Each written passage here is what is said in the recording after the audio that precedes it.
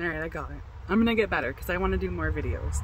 I think what we're growing here on the property is worth it and this is the best way I know how to share. So I am Julia. I'm a Michigan transplant to Tennessee and I grow loofahs on our property, which we're now calling Loof'n Round Gardens.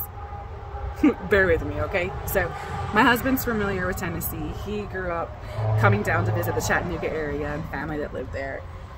I was introduced to it when we came up for a vacation as adults in the early 2000s and knew right away the energy was magnetic and I wanted to try and live here. So as life would have it, we made our way back in 2013 and bought our first ever home in 2016.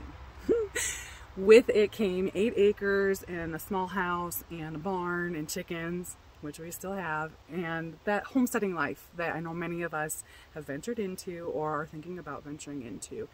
And it's been a true blessing.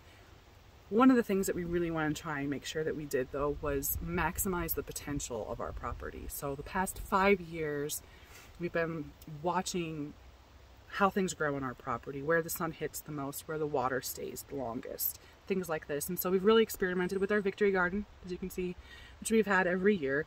Traditional veggies and herbs, things like this. And we have some fruiting trees and bushes as well that we've nurtured throughout the years and just kind of watched to see how they behave and what the land likes. In 2019, I decided I was done with my corporate marketing job and decided to come home and freelance from the house. So obviously that gave me some time to experiment a little bit more with the Victory Garden. And I had been given a seed from a dear friend that's since passed that I had never planted before. And it was the loofah seed.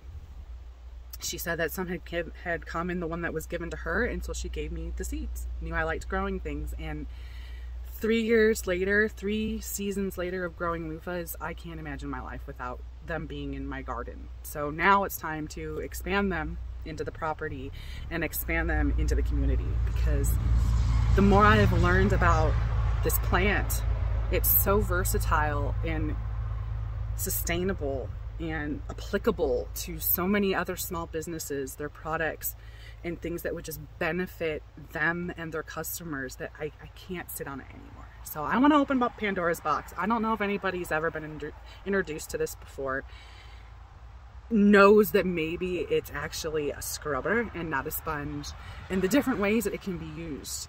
So I want to explore this with you. I want to educate and I want to share them with you. See what happens. So we're going to start loofing around gardens. I do anyway, so why not keep doing it with friends?